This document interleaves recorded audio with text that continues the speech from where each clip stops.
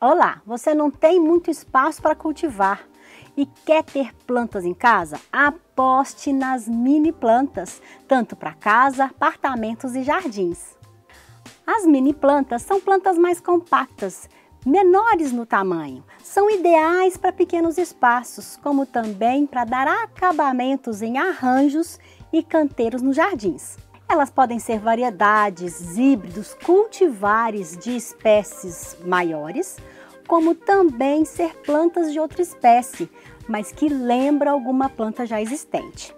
Como por exemplo, eu tenho essa minha jade, a Crassula ovata, que a minha tem 30 anos de idade, tá desse tamanhozão. Para cultivá-la, a gente precisa de um espaço maior, mesmo com um crescimento mais lento.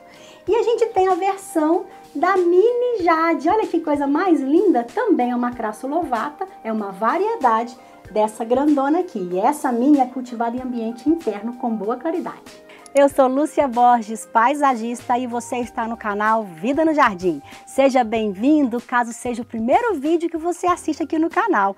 Te convido a se inscrever e ativar o sininho para ser notificado de todos os vídeos postados. Nos siga também nas outras redes sociais. E se já gostou do tema, curta e compartilhe esse vídeo com seus amigos.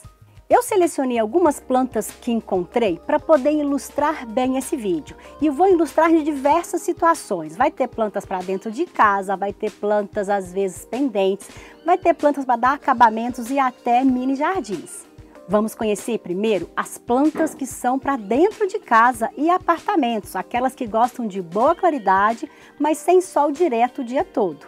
E para começar, Olha que lindas são as mini marantas. E existem tanto espécies menores de marantas que são mais compactas, quanto algumas cultivares que estão sendo produzidas que têm menor tamanho. E elas amam ambientes protegidos do sol, tanto dentro de casas quanto também em jardins protegidos do sol forte. E muitas marantas são nativas brasileiras.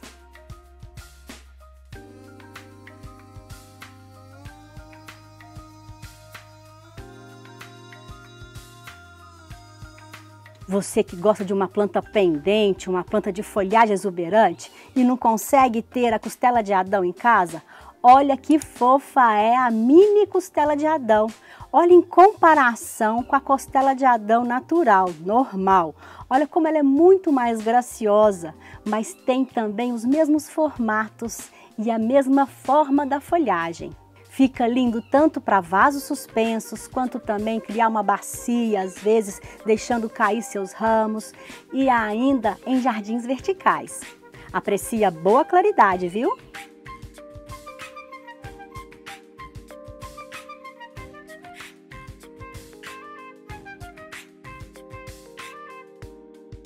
E se você quer uma planta que seja compacta e que tenha um porte um pouco maior, Olha que fofa é a dracena compacta. É uma espécie diferente das outras dracenas, que não cresce muito e você tanto pode ter um vaso mais alto, ela vai chegar em torno de um metro no vaso, ou um metro e pouco de altura, quanto colocar várias mudas num vaso só para dar um acabamento. Tem uma folhagem verde escura muito bonita.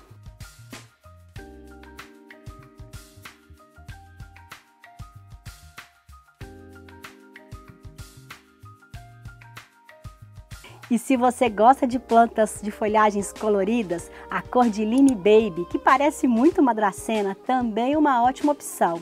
Tendo uma folhagem mais colorida, é interessante a gente cultivar uma meia sombra, então aquele ambiente perto da janela, tá?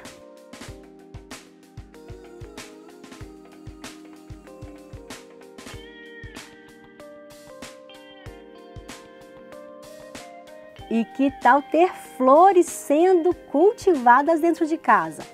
Os miniantúrios, que lindos que eles são e são muito duradouros. E a gente tem uma diversidade incrível, tanto em variedades quanto novas espécies derivadas do antúrio. Suas flores podem se permanecer por meses nos ambientes. E normalmente, se tiver boa claridade, se você fizer uma rega regular e uma adubação periódica, ela vai produzir novas flores ou inflorescências dentro do seu ambiente.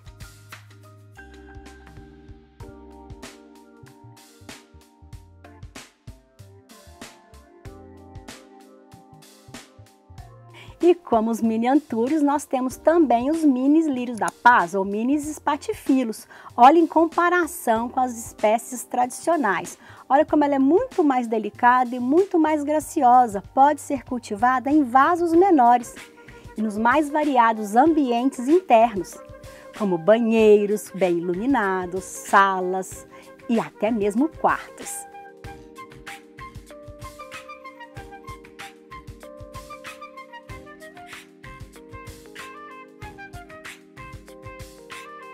Mas se você quer fazer uma decoração com flores, existem as espécies que precisam de sol, mas que depois que os botões estão abrindo, podem ser cultivadas em ambientes internos, como o próprio mini crisântemos. Olha que lindos são esses vasos repletos, carregados de flores.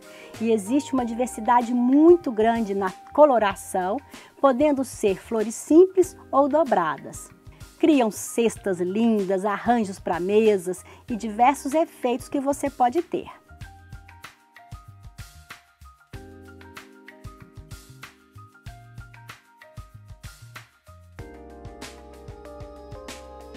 E a outra que é também muito cultivada é o mini calanchói ou mini calandiva. Olha que fofas são esses vasinhos pequenos já carregadinhos de flores. Tem também diversas colorações. E uma dica muito importante para você ter uma segunda florada dessas espécies é depois que as flores acabarem, você cortar as hastes florais e levar para um local que receba pelo menos algumas horas de sol. Isso vai incentivar novas flores surgirem.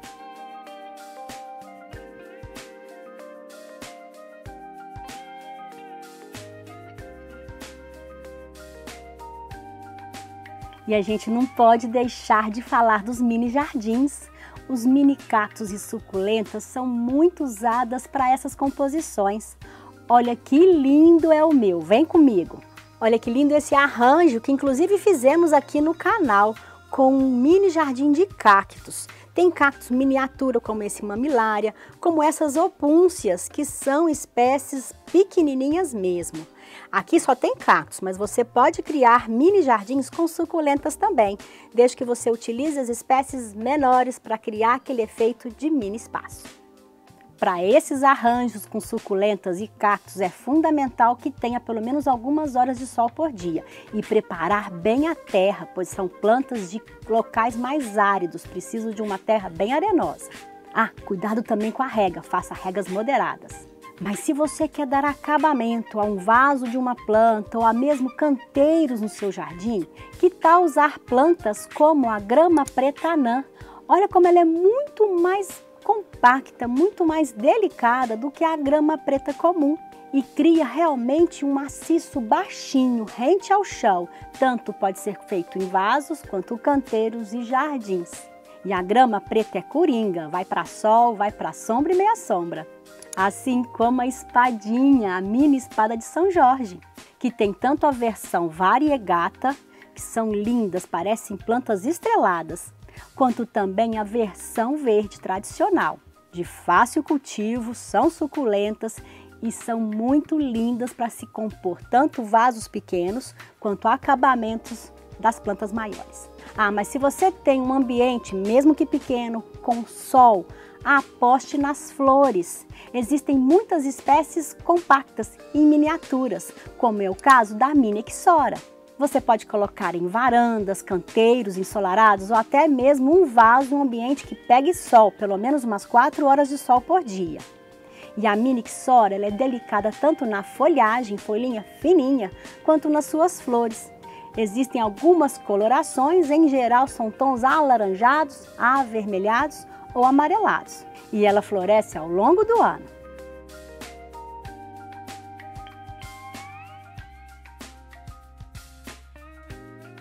E a gente não pode deixar de falar também das mini rosas, que são versões bem mais compactas do que as roseiras tradicionais.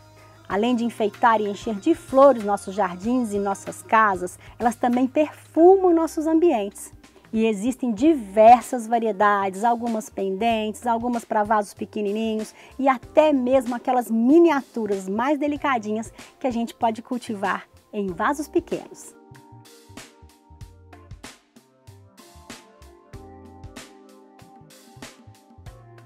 Enfim, essas são algumas espécies que eu selecionei para poder ilustrar o nosso vídeo. Mas se você tiver outra planta para aumentar nossa lista aqui, deixe seu comentário, vou adorar saber. E aí, gostou do vídeo? Não se esqueça de dar o like e compartilhar esse vídeo com seus amigos. Muito obrigada por assistir e até a próxima. Feliz Páscoa!